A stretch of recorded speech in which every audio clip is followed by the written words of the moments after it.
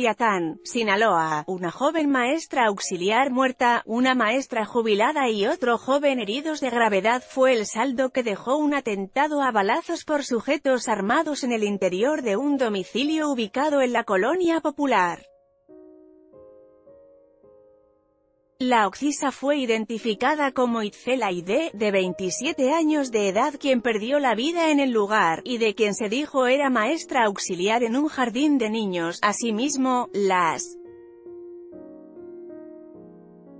Dos personas heridas fueron identificadas como Luis de 21 años, quien se dijo era intendente en una escuela y hermano de Aide y Elsa de 53 años de edad maestra jubilada y madre de ambos.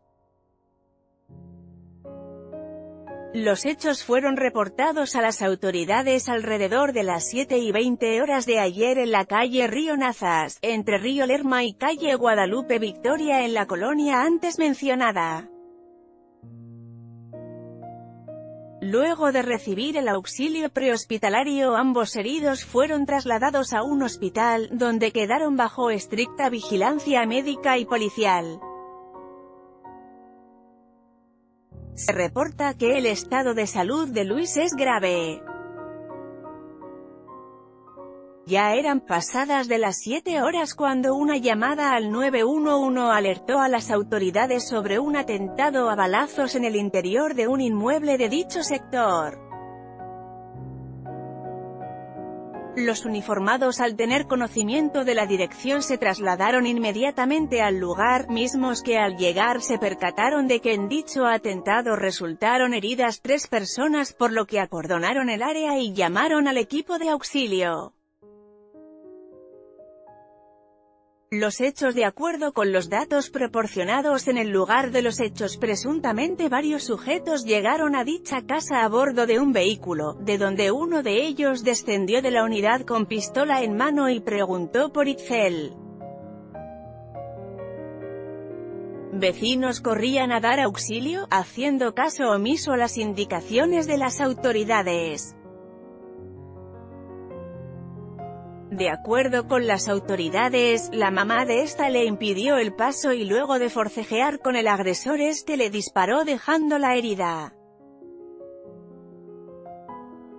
Al escuchar las detonaciones el hijo, salió al porche y también fue herido de bala por el agresor que se introdujo a una de las habitaciones donde se encontraba Itzel, quien al parecer estaba acompañada de su hijo de cuatro años de edad. Presuntamente el agresor al tener de frente a Itzel le disparó por lo menos en dos ocasiones. Tras los disparos el menor salió corriendo de la casa y fue protegido por una vecina. Luego de haber cumplido con su objetivo el presunto pistolero abordó de nuevo el vehículo para posteriormente huir, junto con sus cómplices, acordonamiento al escuchar las detonaciones los vecinos salieron de sus casas para saber lo que ocurría, fue entonces cuando se percataron que la maestra Elsa se encontraba afuera acostada en la banqueta del domicilio, su hijo en la sala de la casa y su hija en uno de los cuartos, los tres gravemente heridos por lo que llamaron a los paramédicos de la Cruz Roja, mismos que en minutos arribaron al lugar. En dos unidades médicas fueron trasladados los lesionados a diferentes hospitales. Foto, el debate luego de ser alertados policías, investigadores y peritos de la Fiscalía General de Justicia acudieron a realizar las diligencias correspondientes. De los responsables no se pudo dar características.